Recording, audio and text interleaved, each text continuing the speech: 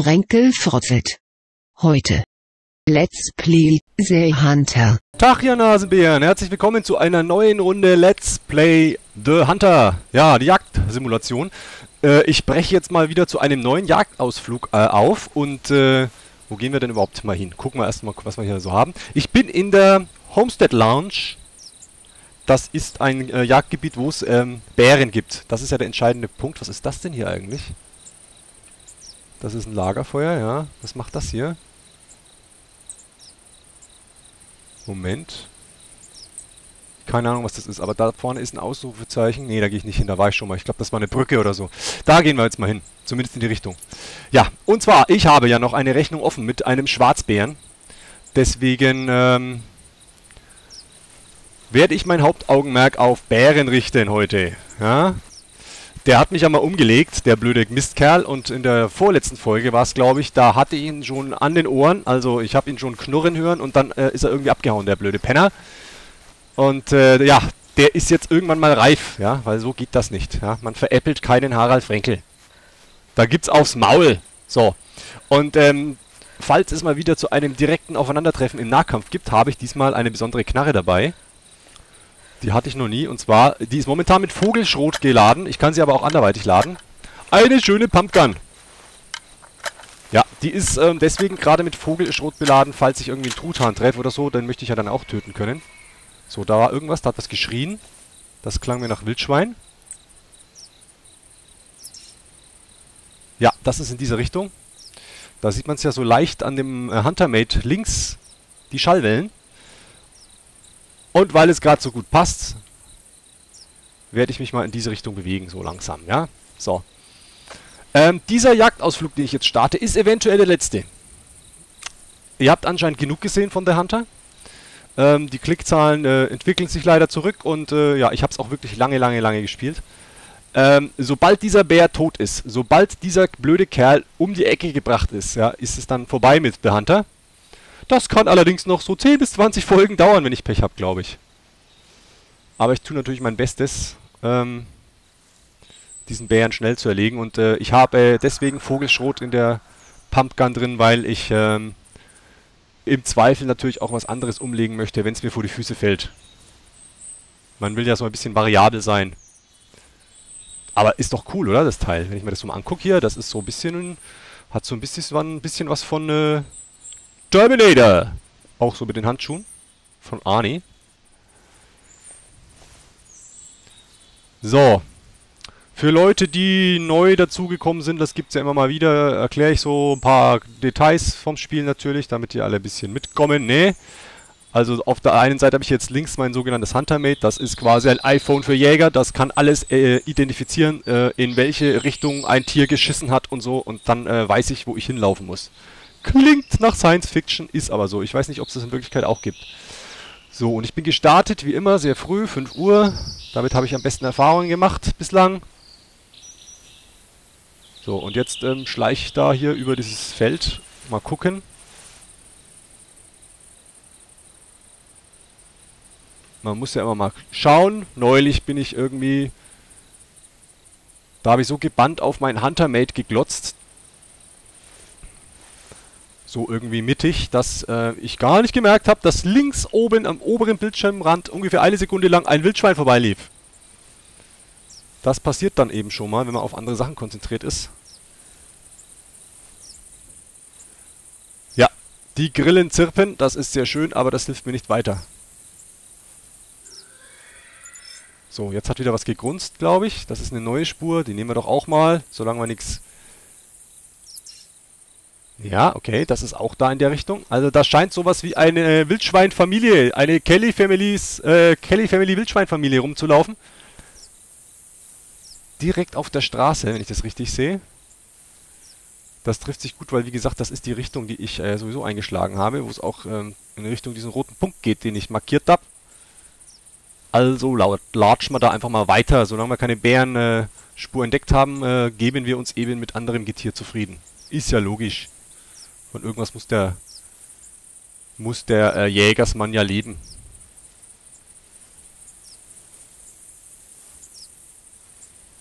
Ja, man braucht Geduld. Das habe ich jetzt mittlerweile auch gelernt. Man kann aber auch nicht so lahmarschig machen bei Let's Plays, weil sonst schlafen einem ja die Zuschauer ein. Das heißt, man muss so irgendwie einen Mittelweg finden dann bei so einem Spiel. So, dass es irgendwie einigermaßen interessant bleibt ähm, und äh, man trotzdem ab und zu mal einen Erfolg hat. So, jetzt gehen wir mal auf diesen kleinen Steinhügel. Vielleicht haben wir da auch eine gute Sicht auf den, äh, aufs Tal, auf die Straße, wo ja offensichtlich ein paar Wildschweine unterwegs sind. Meine andere Waffe habe ich noch nicht gezeigt heute. Das ist aber meine Standardwaffe, die kennt ihr ja alle. Das ist die mit dem äh, Zielfernrohr. Gut, dass wir die jetzt auch mal durchgeladen haben. So. Jetzt haben wir da freie Sicht oder nicht? Naja. Scheint noch ein bisschen weiter weg zu sein. Ich habe die ja direkt auf der Straße gesehen. Ist das dann auch erst hinter dem Hügel noch, oder was? Na, dann marschieren wir einfach mal weiter.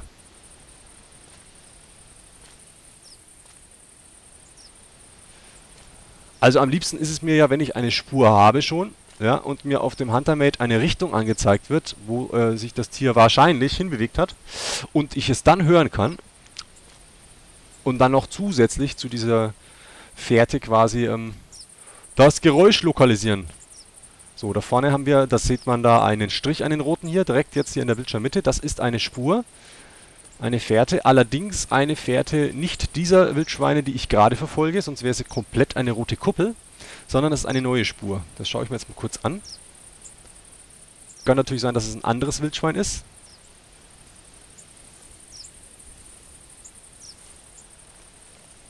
Angucken kann man es ja mal. Es ist ein Kackehaufen. Das ist natürlich schon sehr interessant. Das klingt jetzt vielleicht komisch, aber dieser Kackehaufen ist wirklich interessant. Den gucke ich mir jetzt mal an hier. Ein Bär im Vietnam-Meer. Das ist ja schön. Da bin ich ja froh, dass ich das angeguckt habe. So. Das heißt, hier in diesem gestrichelten Kreisgebiet soll schon ein Bär sein. Ich werde wahnsinnig.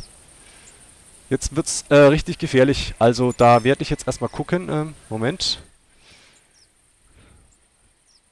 Da werde ich jetzt hier erstmal meine meine Munition ändern müssen. So, dann laden wir die Pumpgun nämlich mit äh, ordentlichen Flintenlaufgeschossen aus. Wie gesagt, für den Nahkampf ganz gut, weil diese Schrotflinte hat ja auch kein äh, Fernrohr oben drauf. So, einmal durchrepetiert so. Da muss ich dann ähm, so richtig schön Kimmekorn und so, ne? Oldschool. Okay, also, es soll hier ein Bär sein. In diesem Kreis. Das ist natürlich ein großer Kreis. Das heißt, es wäre nützlich, jetzt vielleicht noch eine weitere Spur zu finden von ihm. Und das wird schwierig. Weil hier direkt in der Umgebung ist nichts.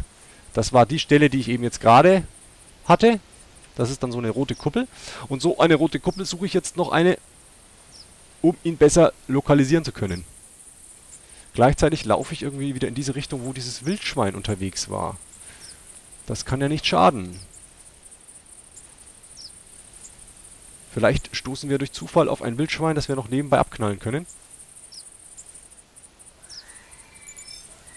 Was war das jetzt hier? Das war eine neue Spur, die will ich nicht. Ich will jetzt den Bären verfolgen. Hauptsächlich. So. Jetzt ist das hier gar keine Straße, oder was? Was ist das denn dann? Ja, das Problem an Bären ist, wenn man sie nicht zuerst entdeckt und sie entdecken einen zuerst, dann wird's gefährlich. Und da hat mich ja schon mal einer umgenietet, gell? Das wollen wir verhindern. So, in diesem blöden Kreis soll ein Bär sein. Jetzt brauche ich doch... Ah, da vorne ist wieder eine Spur. Das ist aber wieder eine andere. Ja, das sind Striche. Das heißt, ich vermute, dass das hier die Wildschweine sind. Die hier rumgedackelt und da ist ja auch eine Straße, wie ich mir es gedacht habe. Ja, das könnten Hirsche sein. Ich will die jetzt nur nicht untersuchen, weil ich sonst... Äh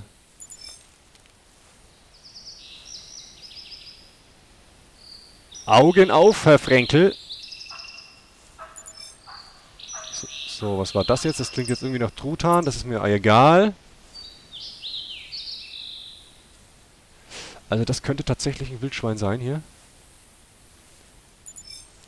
Lieber wäre mir jetzt aber eine Bärenspur, ehrlich gesagt. Weil ein Wildschwein habe ich ja schon gekillt. Ich weiß nicht, ob ihr euch erinnert, ich habe es gekillt mit einem sagenhaften Schuss mit Pfeil und Bogen. Und zwar so sagenhaft, dass es nur verletzt war und weggerannt ist. Ich habe es aber gefunden. Es ist dann verblutet. Das finde ich ja sehr, sehr tragisch, aber ich konnte es nicht ändern. So, da ist alles voller Wildschweinspuren hier. Und dieses eine Häufchen Bärenscheiße, das hat mir jetzt irgendwie auch nicht so weitergeholfen. Verdammt! Ich will einen Bären! Hier wimmelt's von Pferden. Wirklich massenhaft. Das sind aber wahrscheinlich alles Wildschweine.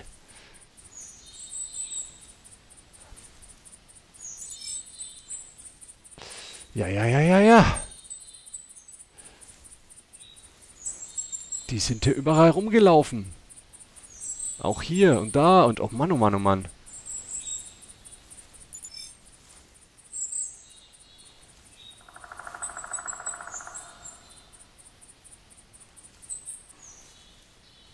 Mann, Mann, Mann, Mann, Mann. Also das ist ja schon wieder aufregend hier, ne?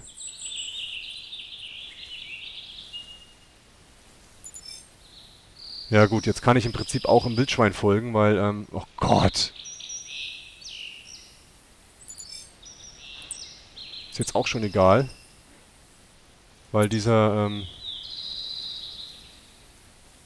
So, welche Spur ist das jetzt hier? Ist das irgendwie noch eine, die ich hier noch in der Nähe habe, die ich dann nochmal untersuchen kann? Nein, das ist nicht der Fall. Doch, da vorne. Ähm... Ja, weil dieser eine Haufen Bärenscheiße, der hätte mir ja nicht wirklich weitergeholfen jetzt auf Dauer.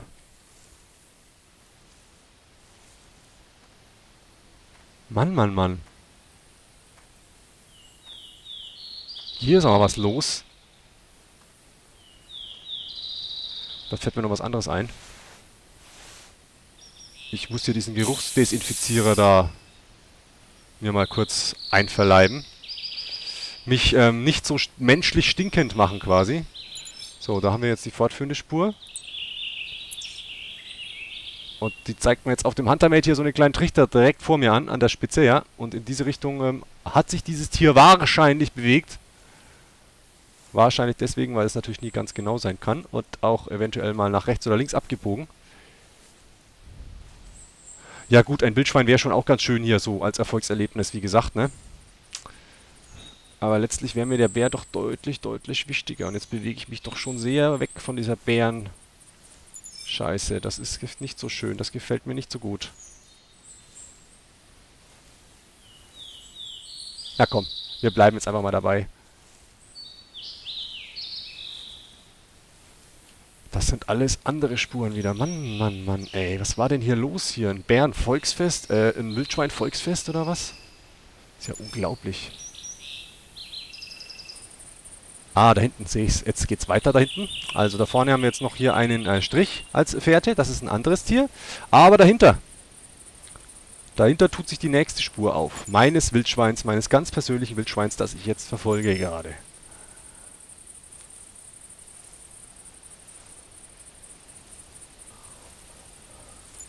Ja, und das ist tatsächlich brav in diese Richtung unterwegs. Ja, und dann haben wir auch schon einen Kreis.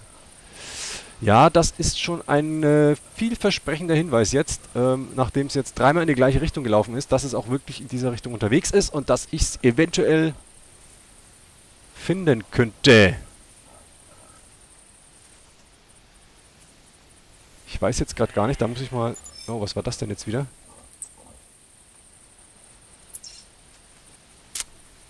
Nee, wir bleiben jetzt bei der Spur. Kann ich mit dieser ähm, Pumpgun eigentlich auch ein Wildschwein töten in, im Nahkampf? Da muss ich mal kurz hier nachgucken. In meiner Liste. Äh... Moment. Wo haben wir es denn? Ja, offensichtlich ja, wenn ich jetzt richtig geguckt habe.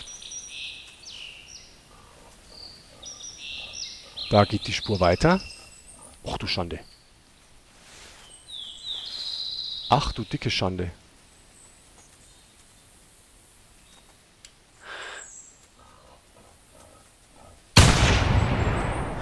Nicht! Stehen bleiben! Mann! Oh, Kacke! Weg! Aus! Dreck! Ich hab's doch getroffen! Ach, ich bin so doof. Was ist denn jetzt wieder los? Jetzt ist es wieder geflüchtet.